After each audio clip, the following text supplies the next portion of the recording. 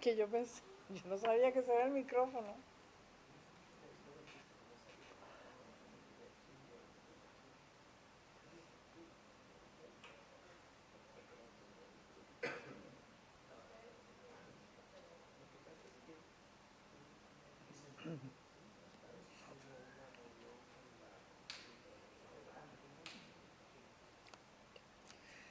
Muy buenas tardes, sean bienvenidos a la presentación del libro Dictatorships in the 21st Century Latin America by Osvaldo Hurtado de la Rea. Mi nombre es Beatriz Rangel, soy miembro de la directiva del Inter-American Institute for Democracy, encargada de las relaciones internacionales. Para mí es muy grato saludarles y darles la bienvenida a este acto de presentación de la versión en inglés del libro de Osvaldo Hurtado Larrea, expresidente del Ecuador y miembro del Consejo Consultivo del Inter-American Institute for Democracy, titulado Dictatorships in the 21st Century Latin America. Agradecemos profundamente el apoyo y gentil anfitrionía de la Florida International University y muy especialmente del Centro Adam Smith para la Libertad Económica. Trabajando en la intersección de la política gubernamental y el libre mercado, el Centro Adam Smith para la Libertad Económica reúne a un grupo de expertos independientes de talla mundial y no partidista que tiene como objetivo informar, influir e inspirar a los líderes actuales y futuros a desarrollar e implementar las políticas innovadoras, significativas y efectivas para promover la libertad económica e individual y la prosperidad. El Inter-American Institute for Democracy es una entidad privada sin fines de lucro cuyo objetivo es la promoción y difusión de los valores de la libertad, la democracia, los derechos humanos y la institucionalidad en las Américas. Es un centro de pensamiento y sin ninguna connotación partidista que realiza investigaciones académicas, seminarios, coloquios y eventos en un contexto de pluralismo y de tolerancia. Mantiene un fondo editorial para la publicación de obras que contribuyen a la difusión y defensa de la democracia, de la libertad y la institucional. Tal es el caso de, del libro que hoy estamos presentando en su versión en inglés. El evento de hoy tiene por objetivo resaltar el valor analítico y de prospección del libro Dictatorships in 21st Century Latin America. También pretende resaltar la vigencia de un análisis iniciado hace más de una década sobre los atributos y el modus operandi de las dictaduras en América Latina, con un esquema que, con un esquema que se inicia con la participación en elecciones libres y correctamente organizadas, luego en el poder vacían de contenido las instituciones democráticas, se apropian del Tesoro Nacional, se perpetúan en el poder e implantan políticas públicas para profundizar la pobreza y por esta vía contar con una población dócil, manipulable y rehén.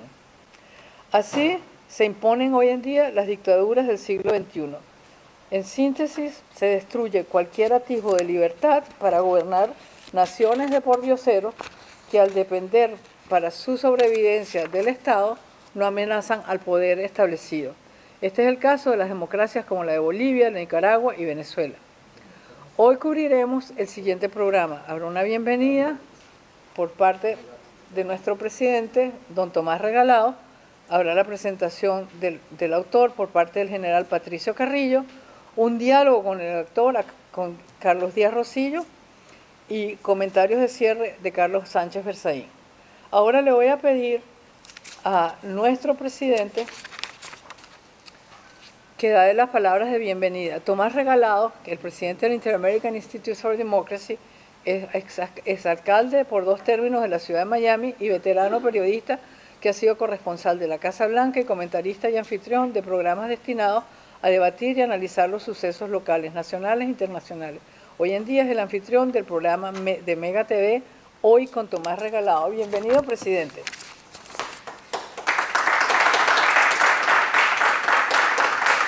Thank you. Uh, thank you, Beatrice. I, I, have been asked to welcome you on behalf of the Inter-American Institute for Democracy. And for us in the Institute, it's an honor. It's an honor to co-host uh, this event in this iconic university. University that grew with the exiles in South Florida. This is a child of people seeking freedom and liberty.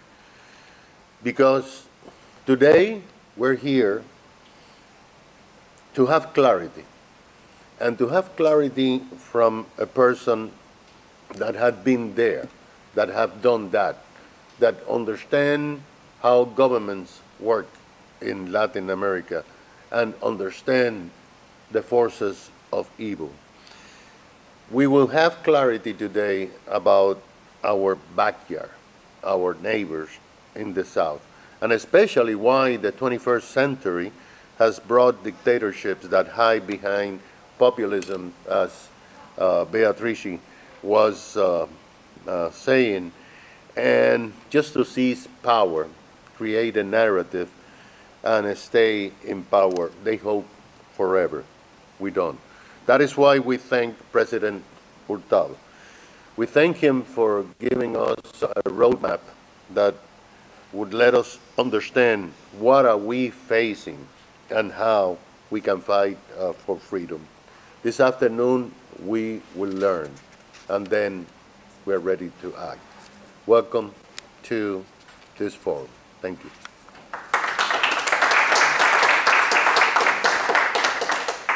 Gracias, don Tomás. Corresponde ahora el derecho de palabra al general Hernán Patricio Carrillo Rosero, que es un general retirado ecuatoriano. Fue ministro del Interior del Ecuador desde el 30 de marzo hasta el 23 de septiembre del 2022 en el gobierno de Guillermo Lazo. Además fue el comandante general de la Policía Nacional de la República del Ecuador entre el 2020 y 2021 en el gobierno de Lenín Moreno. Bienvenido, general Carrillo.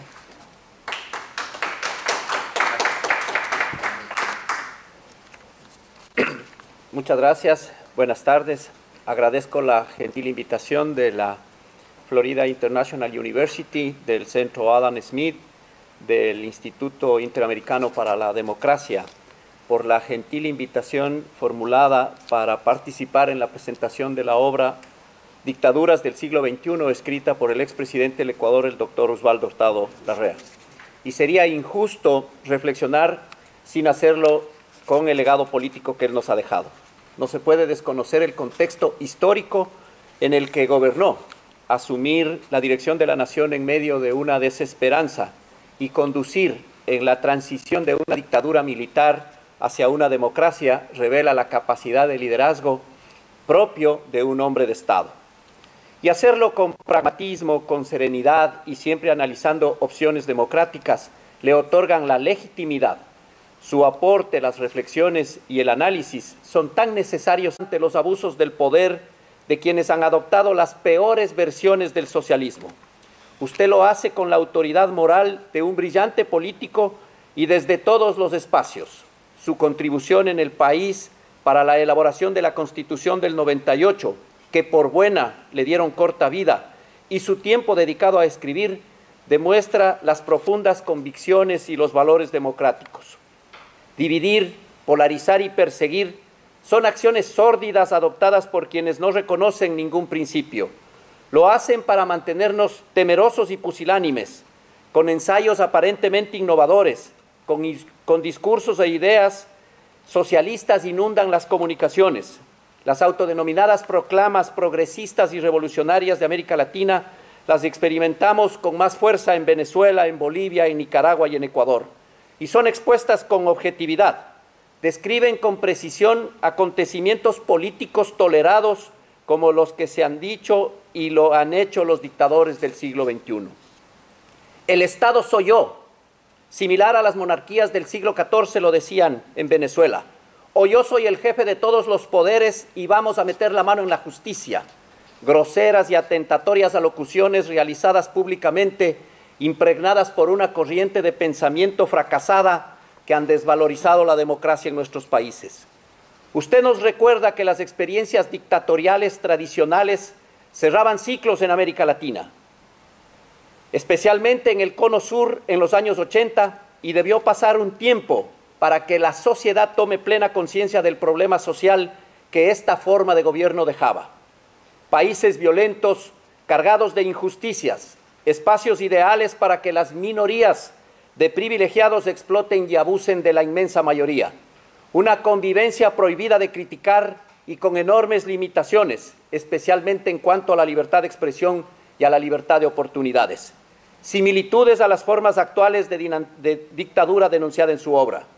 Pero también han sido tiempos que nos llevan a reflexión para definir un antes y un después ideológico de generaciones que han visto con cierta admiración procesos políticos como el de Cuba, con personajes a quienes se les elevaba el perfil de luchadores sociales, idealistas supuestamente que representaban la esperanza ante los problemas estructurales que hasta la actualidad permanecen y que al contrario se han agravado por sus dogmas antidemocráticos. Así aparecieron organizaciones políticas que querían tomar el poder por la fuerza, y esas son las dictaduras del siglo XXI nuevamente. Movimientos comunistas se florecían y alineados en una izquierda radical adoptaban la violencia como estrategia como ahora. Para comprender esa lógica y las actuales dictaduras, la opinión del expresidente Hurtado plasmada en el texto que hoy se presenta es sin duda una gran oportunidad. Una oportunidad para recordar cómo con relatos y narrativas autoritarias convencieron y alcanzaron la confianza ciudadana ganando elecciones y luego, para conservar su poder, cómo sistemáticamente han realizado ataques al sistema electoral y a todos los sistemas, especialmente el de justicia, debilitando todos los controles, creando de esta manera condiciones favorables para sus propósitos políticos. Ese patrón de comportamiento se puede destacar luego de revisar el texto. La disfuncionalidad y el desenfoque político actual ha anidado la negación de la democracia y mantiene aparentemente encallada la cultura y la racionalidad de masas humanas, que sumisas e ideologizadas en axiomas estropeados, además por la corrupción de sus líderes, engañan y desmantelan la fe pública. Esta mascarada la mantienen mientras metódicamente socavan la democracia y anulan el sistema de contrapesos. Así, con secretismo y manipulación, han resucitado versiones más crueles de autoritarismos, demagogia y populismo. Para ese fin, utilizan a todo operador comunicacional. Unos lo hacen por miedo, otros por ambición, pero todos han aprovechado y utilizando la globalización y la tecnología conforman redes virtuales a sus fines y buscan llegar a los más jóvenes con quienes quieren reivindicar la autocracia y la dictadura. Ante ellos se presentan como redentores, santifican la impunidad, dinamitan la ética, la honestidad y el honor. En definitiva, hacen que deje de tener valor la fe pública y la moral. En los pocos recambios políticos que logran vencer humillantes fraudes, como lo dice el autor en el caso de Ecuador y Bolivia, no aceptan sus derrotas y tratan de anular al Estado, que lo mantienen al mínimo y fraccionado para forzar medidas antipopulares y poder regresar con fuerza y una aparente legitimidad. Esa actitud deja clara su visión, ser eternos en el poder, sostenerse violando todo derecho, como lastimosamente sucede ahora en Venezuela y Nicaragua. El punto de vista contrario lo define el doctor Hurtado con sabiduría democrática, es dar identidad política a amplios sectores que no se sienten representados para ese fin hay que terminar con la interdicción y el secuestro de la política. Hay que enfrentar la corrupción y hay que romper la impunidad. Queremos estados fuertes y eficaces, no por ello grandes, con un régimen de derechos y de oportunidades, de libertad y de respeto a la ley y el orden público, de igualdad y de libre competencia, no opresivo, pero sí que reprima en legalidad un mercado criminal creciente que aparecen en estas formas dictatoriales de gobernar. Necesitamos avanzar en esa construcción, sociedades más justas, menos inequitativas, movilizarnos hacia un sistema educativo inclusivo y gratuito de calidad, de alto nivel técnico y alta formación escolar y universitaria, que mejore la cultura y que cree una nueva meritocracia, que dé opciones, que permita soñar en proyectos de vida, que avance en la reducción de los déficits tecnológicos en las áreas rurales y periféricas, pero que también cierre espacios a la violencia y a la delincuencia. La verdad histórica expuesta en la obra Dictaduras del siglo XXI ratifica la defensa de los principios democráticos de su autor, contribuye a una mejor comprensión del fenómeno y desmiente los discursos revolucionarios. En mi caso personal, confirma que tutelar y promover derechos y libertades, alcanzar equilibrios entre estados punitivos y garantistas, es el camino de una mejor convivencia.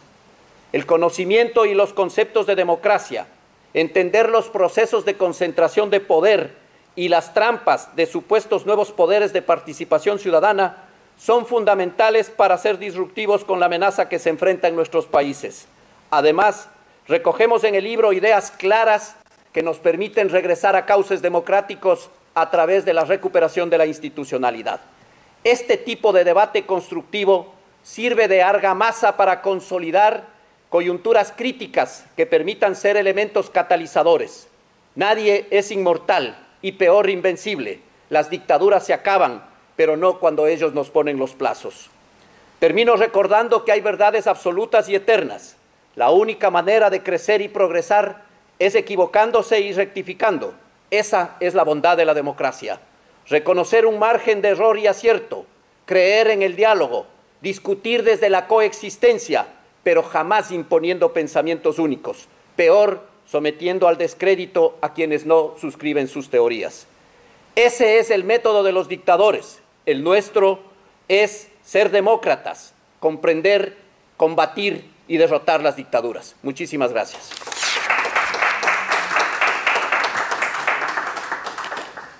Muchísimas gracias, General Carrillo, por esa brillante exposición. Le voy a pedir ahora al autor, el presidente Hurtado, y al director del Centro de Smith para la Libertad Económica, Carlos Díaz Rosillo, que den inicio al conversatorio sobre la obra del doctor Hurtado. El doctor Díaz Rosillo fue miembro de la Facultad de Gobierno de la Universidad de Harvard, donde impartió cursos sobre la presidencia estadounidense y también se desempeñó como decano asistente del Harvard College. Especializ eh, eh, em, especializándose en el poder presidencial, la formulación de políticas y la implementación de políticas, así como el diseño de la política de seguridad nacional. En el servicio público, el doctor Díaz Rosillo fue director de operaciones y vicepresidente del National Endowment for Humanity. Posteriormente se desempeñó como director de coordinación interagencias de la Casa Blanca y secretario asistente para el hemisferio occidental del Departamento de Defensa, donde también ocupó el cargo de secretario asistente para la Seguridad Internacional. Bienvenidos, presidente, y Carlos Díaz Rosillo, dos formuladores de política.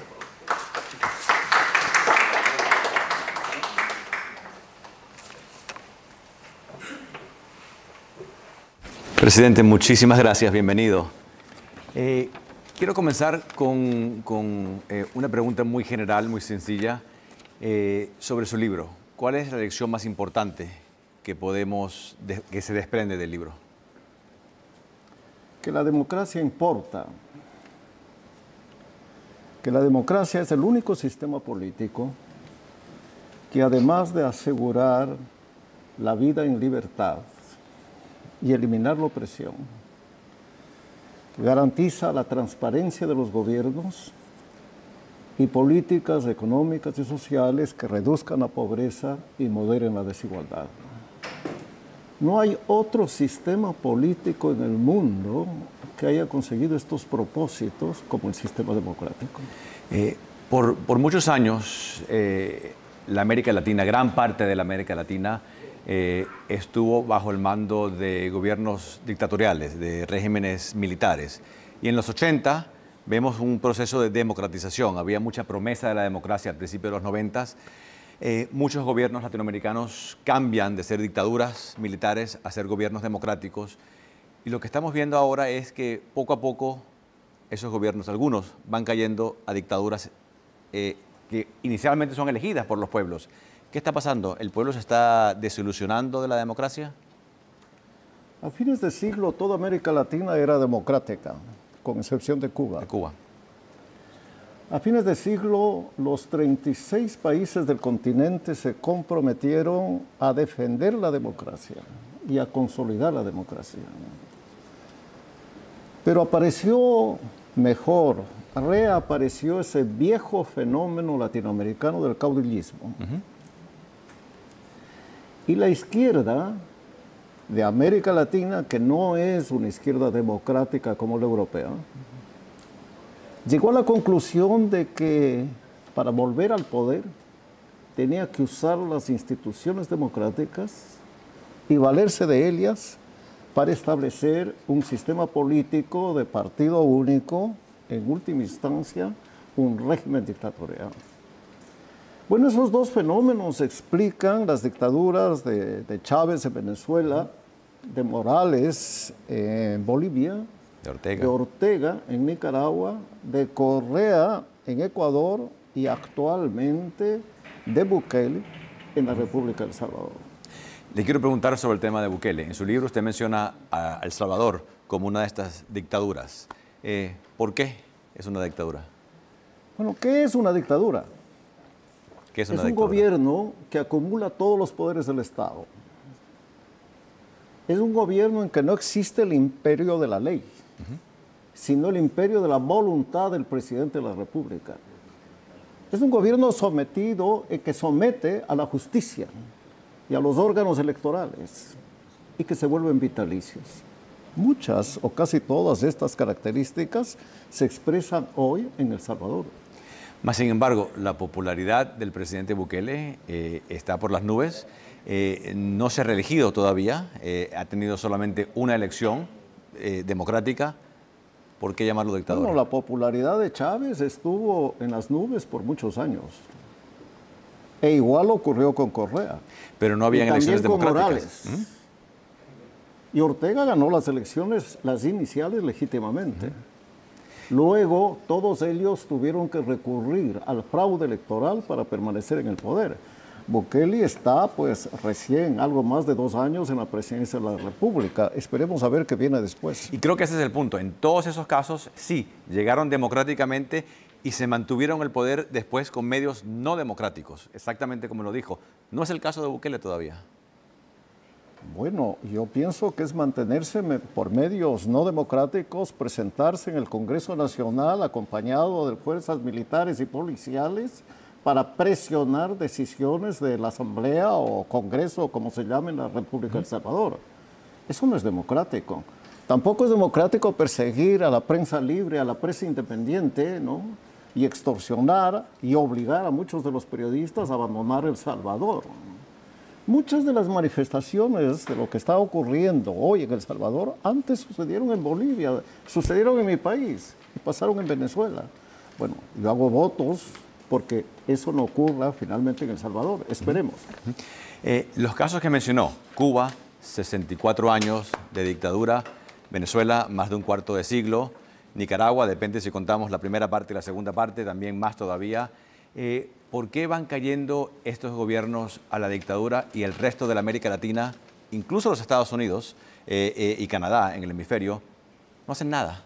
Eh, ¿Por qué vemos lo que está pasando en Nicaragua, por ejemplo, en, en- en un país en el cual el dictador Ortega ha hecho prácticamente lo que le ha dado la gana, ha puesto, eh, eh, eh, ha metido a la cárcel a cada uno de sus posibles contrincantes y el resto de la comunidad hemisférica, eh, Canadá, Estados Unidos y toda la América Latina, no han hecho nada? ¿Por qué? Bueno, Estados Unidos y, y el Canadá creo que han hecho algo. Han tratado, pero no, no, no hemos Creo podido. que han hecho algo, ¿no? A ver. Los que no han hecho nada son los estados de América Latina. ¿Por qué? Bueno, porque la izquierda tiene muchas ventajas y una de ellas es la impunidad. Es una impunidad, impunidad moral, intelectual, política, económica. Mire que hoy en Venezuela el 90% de los venezolanos son pobres. ¿Qué es el centro de la lucha política de la izquierda a través de la historia de los últimos dos siglos? Trabajar para los pobres, eliminar la pobreza, suprimir las desigualdades sociales. Bueno, nada de eso ocurre en Venezuela. Y usted tiene gobiernos como los del Brasil, como los de México, como los de Colombia, que defienden la dictadura de Chávez a su tiempo y la de Maduro hoy. ¿Qué pueden hacer los gobiernos serios, democráticos de la América Latina para cambiar eso? ¿Qué Poco. pueden y qué deben de hacer? Poco, poco. ¿Por qué? Porque son gobiernos que, de países relativamente pequeños, entre comillas. Entre los gobiernos verdaderamente democráticos de América Latina no está México, no está Argentina, no está Brasil. No está Brasil antes con, con, el gobierno autoritario de Bolsonaro y no lo está hoy con un gobierno como, como el de Lula. Y lo mismo puede decirse de, otros países, quizá con excepción de Chile. Eh, eh, un tema un poquito diferente, pero eh, regreso al tema de Estados Unidos. Muchos han, han, comentado la manera en que China ha venido poco a poco penetrando en la América Latina. Hoy día es el socio comercial número uno de Sudamérica y número dos de toda Latinoamérica, porque México en realidad tiene mucho comercio con Estados Unidos, pero si quitamos a México, es el socio comercial número uno de la América Latina. Eh, ¿Le preocupa eso? Bueno, a mí no me preocupa. ¿Por qué? Porque me parece que ese es el, el resultado del desarrollo. Cuando usted saca de la pobreza a 700 millones de chinos, cosa que no ha sucedido en la historia de la humanidad, usted está poniendo a 700 millones de chinos en el mercado internacional, uh -huh. tanto como productores como receptores y compradores. Y hoy la economía china ha venido creciendo por cuatro décadas por sobre el 8 y el 9%. Bien, frente a ese poder económico, viene pues al interior del país, viene un igual poder económico fuera del país, que uh -huh. se expresa en el comercio internacional. Hoy los Estados Unidos no es el principal comprador de las exportaciones ecuatorianas, uh -huh. es China. China. Y el Ecuador, porque es China y porque no es un país democrático, no va a vender el banano, el camarón, la minería, las flores y todo lo demás a los chinos. Esa es una realidad. Y para que eso no ocurra, los Estados Unidos deberá volver a crecer como creció en sus mejores momentos. Uh -huh. Porque la dinámica distinta del crecimiento en China y en los Estados Unidos señala a 10, 20 años una superioridad de la economía china sobre la economía norteamericana. Muchos dicen que es una gran oportunidad para que los Estados Unidos y las empresas de Estados Unidos eh, traigan sus negocios a la América Latina. Por, por, por, muchos años se fueron a China, mano de obra muchísimo más baratas, condiciones favorables, y ahora que nos hemos dado cuenta de quizás el, peligro, el, el, el posible peligro para la seguridad nacional de Estados Unidos, hay una oportunidad para traer esas empresas y crear empleos en la América Latina. ¿Cómo hacerlo? Tanto por los Estados Unidos, por razones políticas, ¿Sí? cuanto también a China por razones económicas. Así es. Porque después de lo que sucedió en la pandemia y los problemas que se produjeron en el comercio internacional, fundamentalmente en el transporte, en el transporte, los chinos han llegado a la conclusión de que les conviene producir en México para no perder el mercado norteamericano. Claro. Bueno, esta es la dinámica de la, de, de, del mundo capitalista y de la economía de mercado.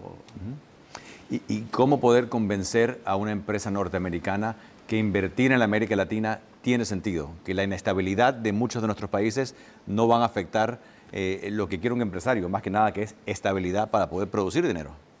Bueno, paradójicamente es un gobierno comunista, que es el gobierno de China, uh -huh. el que les da estabilidad a los inversores de Estados Unidos de Norteamérica. Así es.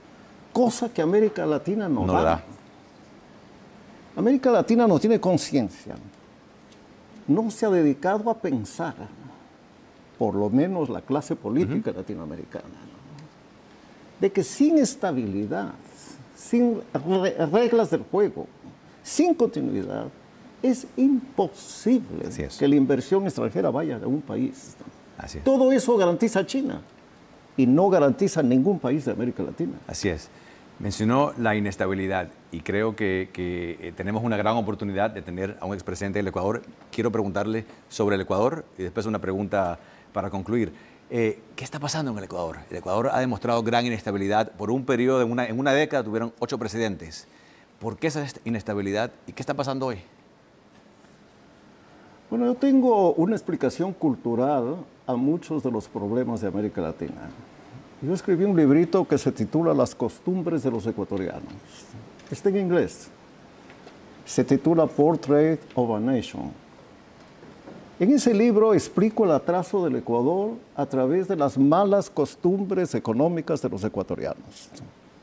Es un estudio histórico que comienza en la colonia y termina en estos años. Yo diría que las malas costumbres políticas también explican el fracaso de la democracia latinoamericana. Porque no puede haber democracia sin ciudadanos. No puede haber democracia, y al decir ciudadanos quiero decir pues gentes responsables, cumplidores de la ley, respetuosas de la Constitución. No puede haber democracia sin virtudes cívicas. Así es. La fuerza, el condumio de la democracia estadounidense son las virtudes cívicas del pueblo norteamericano. Y lo mismo puedo decir de Europa, después de la Segunda Guerra Mundial.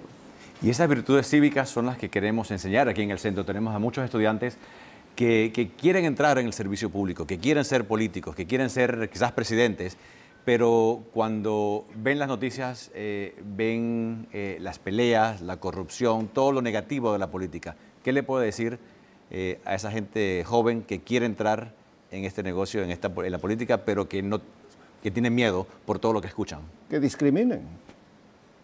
Hay políticos honestos. Hay partidos honestos. Y esos políticos honestos y esos partidos honestos que sirven al país y que sirven al pueblo, no merecen una noticia en los medios de comunicación, en los que aparecen las malas noticias. Malas noticias son noticias, buenas noticias no son noticias. Con eso tenemos que lidiar los políticos.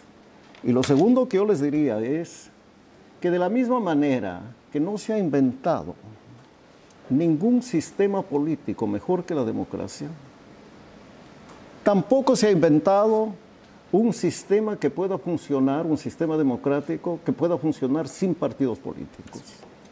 Quiero decir funcionar en el largo plazo, en el largo plazo.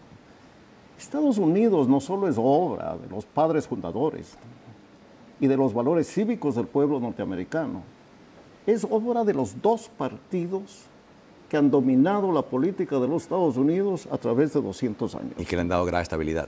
Así es. A todos los problemas que he dicho de América Latina se podría sumar uno más, la crisis de los sistemas de partidos. Prácticamente han desaparecido los partidos políticos en América Latina. Y sin partidos no puede haber un sistema de democracia. Para decirlo en una frase que consta en mi libro, el partido político es la peor forma de organización de la participación de los ciudadanos, con excepción de todos los demás. Estoy parafraseando, naturalmente. Churchill. A Churchill. Así es. Presidente, muchísimas gracias. Gracias.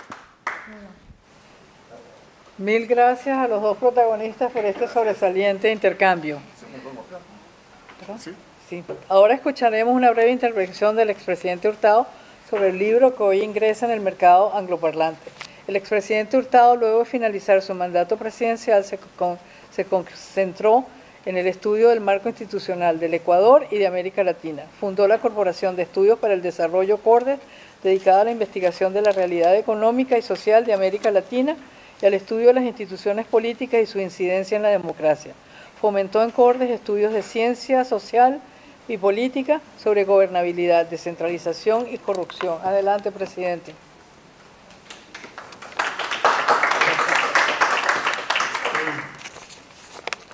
yo quisiera comenzar agradeciendo a Florida International University, Adam Smith Center for Economic Freedom, Kimberly Green Latin American and Caribbean Center y al Inter-American Institute for Democracia por haber organizado este acto para presentar este librito que en su primera versión se publicó en el año 2012 y que hoy aparece en idioma inglés editado por Roman Littlefield de Estados Unidos. Bueno, algo de lo que yo tenía pensado decir he dicho ya gracias a esa excelente entrevista que acabo de, que acabo de participar. A final de siglo, toda América Latina era democrática. Por primera vez en su historia. Miren qué paradoja. Casi 200 años tuvo que esperar América Latina para ser democrática desde el Río Grande hasta la Patagonia. Pero no solo que América Latina era democrática, sino que además todos los países del continente, incluido Canadá y Estados Unidos, se reúnen en Lima y aprueban la Carta Democrática Interamericana, en, en la que se comprometen a convertirle a ese instrumento jurídico en la guía, en el norte, en la ruta de la democracia latinoamericana para el futuro. Y ese compromiso implicaba defenderla. Uno de los firmantes fue el coronel Hugo Chávez, en ese entonces presidente de Venezuela. Y aquí volvemos, y aquí vuelvo a algo que dije en la entrevista. Bien, en América Latina se puede firmar cualquier cosa. ¿Por qué? Porque no es que quien firma un documento se compromete a respetarlo, a convertirle en su norte, en su guía y en su futuro. Simplemente lo deja a un lado. Y eso hizo América Latina con la Carta Democrática Interamericana. Primero Venezuela, después Bolivia, más tarde Nicaragua y finalmente Nicaragua, finalmente Ecuador y ahora El Salvador. Son muchas las causas de que ello haya ocurrido. Yo quisiera mencionar dos. El caudillismo latinoamericano. Venezuela había tenido un largo periodo democrático de varias décadas. Se habían sucedido diferentes partidos en el gobierno del Estado.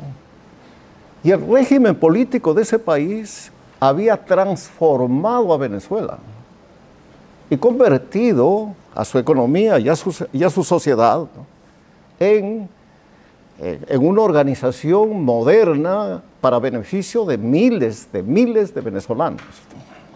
Pero bien, apareció un caudillo que echó abajo el régimen político, no solo democrático, sino también su sustento, el régimen de partidos. Y lo mismo ocurrió en Bolivia. Y parecida cosa sucedió en Ecuador, también en Nicaragua y hoy día en El Salvador. Y lo segundo, y lo segundo, es que la izquierda latinoamericana llegó a la conclusión de que no había manera de alcanzar el poder a través de las armas y que debía valerse de las instituciones democráticas para llegar a la presidencia de la República y gobernar los estados. Este no era un invento de Chávez, ni del socialismo del siglo XXI. Es lo que había hecho el fascismo en Italia y el nazismo en Alemania. Es lo que había hecho Fujimori años antes. Bien, de esta manera es que liquidaron la democracia. Liquidaron la democracia. Bajo la excusa de que iban a acabar con las injusticias sociales, iban a eliminar la pobreza e iban a desarrollar las naciones para convertir a sus países en los pioneros económicos y sociales y políticos del continente. Como lo decía hace unos minutos, en Venezuela el 90% de los venezolanos son pobres. De los que quedan, porque 7 millones de venezolanos han emigrado. Yo les preguntaría a ustedes, ¿qué ocurriría si en Venezuela hubiera un gobierno de derecha o del centro político cuyo resultado fuera el que acabo de decir. Ese gobierno sería liquidado políticamente por periodistas, por intelectuales, por académicos, por profesionales. Bueno, una de las licencias que puede la izquierda en América Latina darse es hacer cualquier cosa impunemente. Bueno, eso es lo que ha pasado como consecuencia de estos gobiernos, todos los cuales también quiero volver sobre ese tema. ¿Por qué son, por qué yo los llamo dictaduras? Porque acumulan todos los poderes del Estado. En el Ecuador, Correa tenía un programa parecido al que tiene hoy el presidente de México, que se llamaba Las Sabatinas, porque se emitía los días sábados. En ellas, él decía, fulano de tal tiene que ser enjuiciado por haber cometido tal delito o tal infracción. El día lunes o el martes había un fiscal que iniciaba una acción penal en contra de ese ciudadano. no es que lo decía privadamente, lo decía y lo proclamaba públicamente. Bueno, todo esto para decirles es que estos gobiernos se ponen el poncho, se ponen el abrigo, se ponen el sombrero, se ponen los tirantes de la democracia y gobiernan como dictadores. Todo esto para llegar a una conclusión. La vieja democracia, la antigua democracia, la venerable democracia fundada en este continente por los padres fundadores de los Estados Unidos de Norteamérica es la única democracia. No hay otra, no hay otra. Y esa es la democracia que debemos defender, que debemos proteger y por la que debemos luchar. Porque todos, todos los inventos, todas las iniciativas, todas las ocurrencias que se han dado en América Latina y en el mundo para mejorar la democracia, para perfeccionar la democracia, para hacer una democracia participativa y una democracia de los pobres y del pueblo, han terminado conformando dictaduras.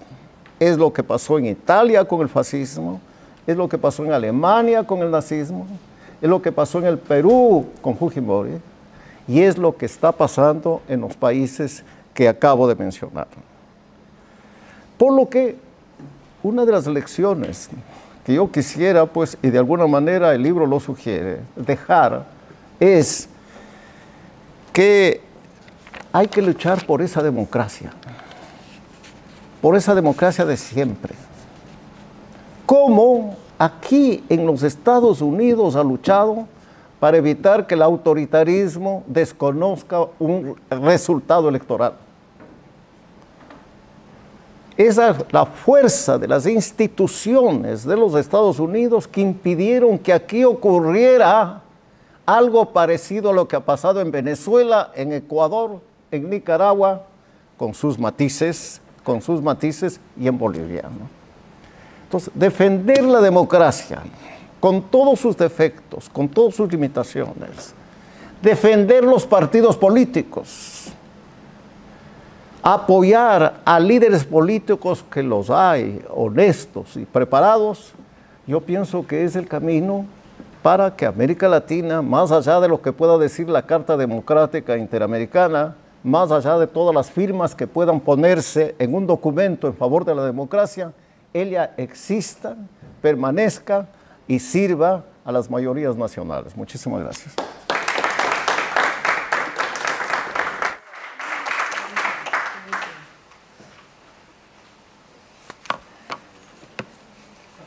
Corresponde ahora el derecho de palabra a don Carlos Sánchez Berzaín, exalumno de FAYU, donde obtuvo una maestría en ciencias políticas. El doctor Sánchez Berzaín es experto en Derecho Constitucional, tiene un máster en Sociología, fue el fundador del Ateneo Jurídico de Bolivia, miembro del Gabinete Ejecutivo en las carteras de Gobernación, Defensa y Secretaría de la Presidencia, y es el director ejecutivo del Inter-American Institute for Democracy. Bienvenido, doctor Sánchez. Gracias, Beatriz.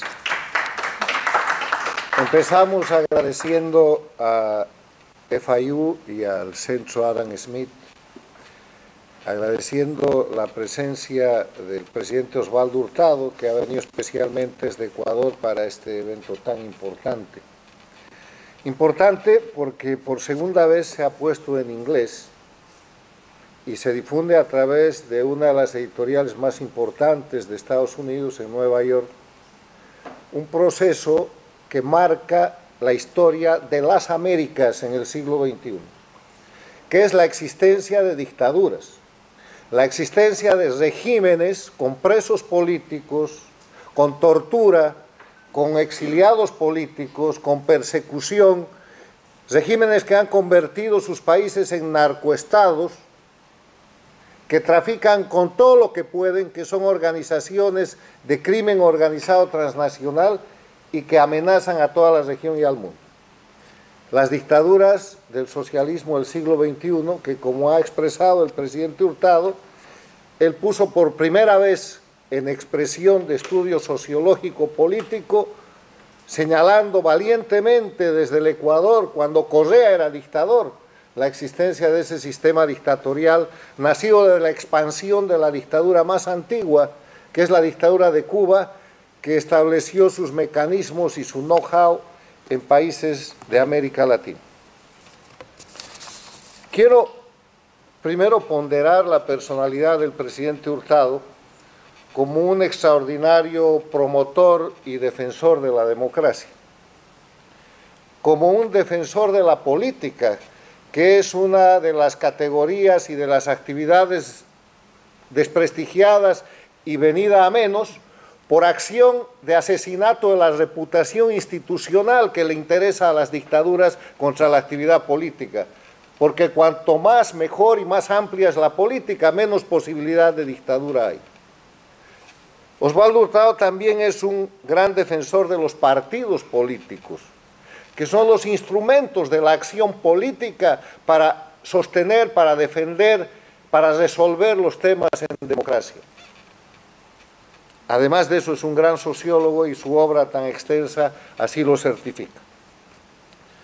Podemos eh, coincidir en muchas cosas y discrepar en otras con el presidente Hurtado, pero el aporte que él hace al análisis de la democracia en las Américas es fundamental, porque permite clarificar el eje de confrontación del siglo XXI en las Américas y en el mundo, que no es un eje de confrontación de la disputa del capitalismo contra el comunismo que fue superado con el triunfo del capitalismo el siglo pasado, que no es un eje de confrontación de los países desarrollados contra los no desarrollados, es un eje de confrontación de la dictadura, que es crimen organizado contra la democracia, que es ejercicio y defensa de la libertad.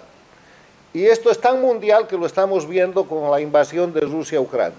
El eje de confrontación mundial por la invasión de Rusia a Ucrania es dictaduras contra democracia. Por eso, alrededor de Rusia está alineada la dictadura comunista de China, está alineada la dictadura eh, nacionalista de la propia Rusia, la dictadura teocrática de Irán, la dictadura de Corea del Norte y las dictaduras del socialismo del siglo XXI, castrochavismo de las Américas.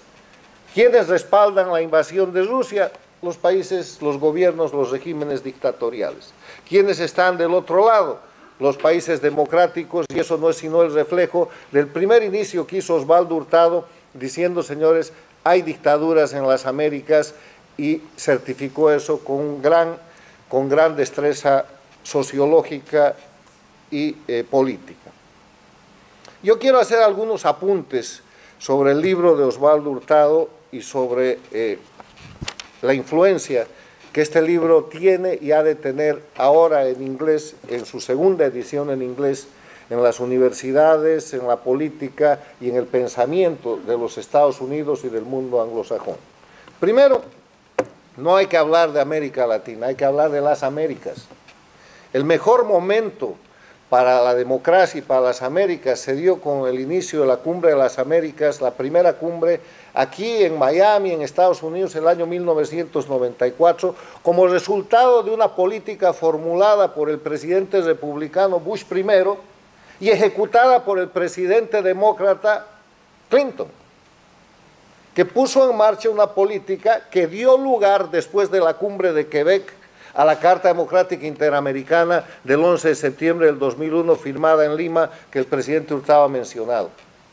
Pero lamentablemente ese mismo día, ese 11 de septiembre, se produjo el atentado contra terrorista contra los Estados Unidos que terminaría siendo la causa para que Estados Unidos abandone esa política exterior y derive en las guerras contra la dictadura, permitiendo el crecimiento de ese proceso dictatorial que hoy día controla Cuba, Venezuela, Bolivia y Nicaragua y que ha establecido gobiernos paradictatoriales en el México de López Obrador, en la Argentina de Fernández Kirchner, en Colombia con Petro y en Brasil con Lula, que es uno de los fundadores del Foro de Sao Paulo.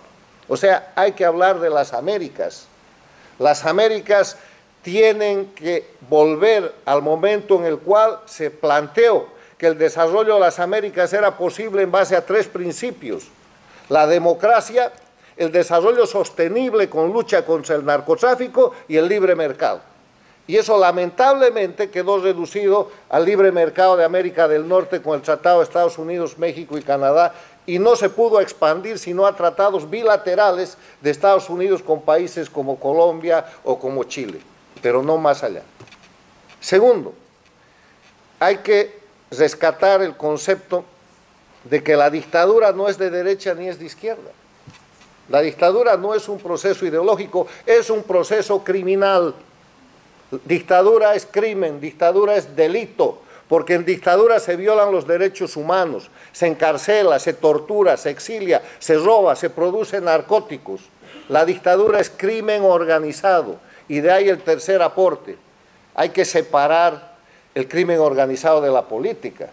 No puede ser que los líderes políticos estén rozando, tolerando y aceptando a los líderes del crimen organizado en las mismas cumbres internacionales, en las mismas reuniones de presidentes, sin discriminación alguna. Separar el crimen organizado de la política. Finalmente, pedirle a los líderes de los países democráticos, y en esto yo quiero ser más optimista que Osvaldo, creo que se pueden hacer cosas importantes para terminar las dictaduras. Hay un ordenamiento jurídico internacional que nunca existió antes de ahora. Está en las Naciones Unidas, está la Carta Democrática Interamericana, está el Tratado de Roma contra los crímenes de lesa humanidad y está la Convención de Palermo firmada el año 2000 contra la eh, delincuencia organizada transnacional. Crímenes de lesa humanidad y delincuencia organizada transnacional son instrumentos que tienen que ejecutar los líderes democráticos de las Américas y el mundo, porque no hacerlo es complicidad, es omisión, y el peor de los pecados es el pecado de omisión. Es el pecado en el cual la gente que está obligada a cumplir en función pública obligaciones internacionales no lo hace y todos los líderes democráticos de las Américas están en deuda con los pueblos de Cuba, Venezuela, Bolivia y Nicaragua por esa razón. Termino felicitando al presidente y diciéndole que eh, vamos a difundir fuertemente su obra, que tiene 13 eh, años, tiene 11 años de, de, haber salido por primera vez y que ahora viene mejorada y con un gran tema de discusión que es El Salvador, que veremos yo creo que eh, El Salvador es, una, eh, es un tema en discusión, porque eh, por raro que parezca, a quien llama dictador en El Salvador el presidente, es un luchador contra el crimen organizado. Veremos en qué queda, yo lo dejo como proceso en desarrollo. Cuando lo veamos metido en el narco, cuando lo, metamos, lo veamos metido en tortura, cuando lo veamos metido en persecución internacional y veamos salvadoreños llenar los pueblos de América, de repente yo me anime a trasladar al presidente de El Salvador a una categoría tan definitiva como la que ha establecido el presidente. Pero gracias Osvaldo, muy amable.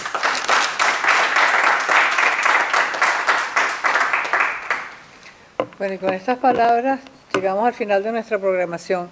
Damos de nuevo las gracias al Centro Adam Smith para la Libertad Económica y a su director, el doctor Carlos Díaz Rosillo, y a la Universidad Internacional de la Florida y les pedimos que si quieren ustedes profundizar sobre las causas de este retroceso democrático en América Latina, adquieran el libro del presidente Hurtado, Dictatorships in Latin America's 21st Century.